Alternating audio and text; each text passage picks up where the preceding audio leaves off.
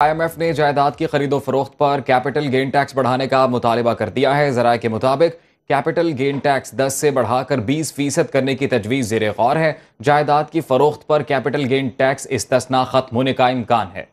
जराये का कहना है कि आई एम एफ़ ने मुतालबा किया है कि जायदाद पर किराए को दीगर आमदन में शामिल करके इनकम टैक्स आयद किया जाए। यकम जुलाई से जायदादों की कीमतें और मुतव किराए जारी करने का भी मुतालबा।